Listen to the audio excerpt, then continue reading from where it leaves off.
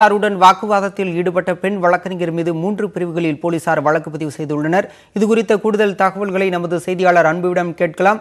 அன்பு வழக்கறிஞர் மீது ஏன் வழக்கு பதிவு செய்து செய்யப்பட்டுள்ளது? விவரம் என்ன?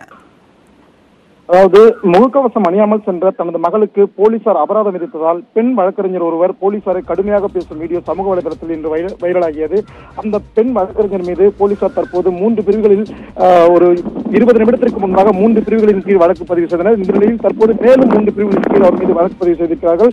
மொத்தம் அந்த பெண் வழக்கறிஞர் மீது ஆறு பிரிவுகளின் கீழ் வழக்கு பதிவு செய்திருக்கிறார்கள். இன்று காலை சேத்துப்பட்டு சிக்னலில் போலீசார் அனைவரும் ஊரடங்கு பணியில் ஈடுபட்டிருந்த போது அந்த வழியாக கீழ்ப்பாக்கம் கடந்து சேர்ந்த ஒரு பெண் ஒருவர் முகக்கவசம் அணியாமல் நான்கு சக்கர வாகனத்தில் வந்துள்ளார். அவரை தடுத்து நிறுத்திய போலீசார் முகக்கவசம் அணியாமல் இருந்ததற்காகவும் ஊரடங்கு மீறியதற்காகவும் ரூபாய் ஐநூறு அபராதம் விதிக்கப்படுவதாக கூறியுள்ளார். இதனால் கோபமடைந்த அந்த பெண் தனது தாய்க்கு கால் செய்து விஷயத்தை கூறியிருக்கிறார்.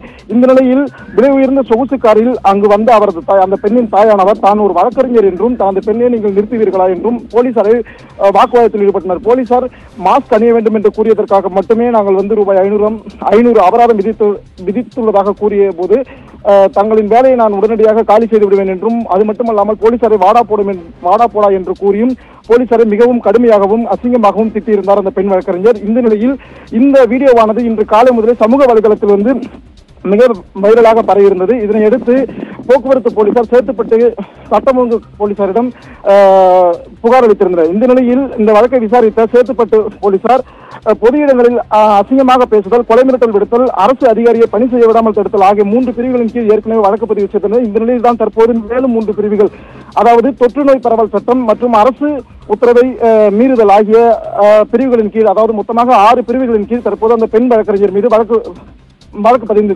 பதிந்திருக்கிறார்கள்.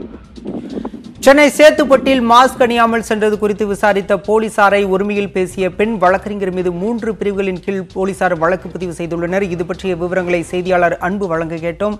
விவரங்களுக்கு நன்றி அன்பரசன்.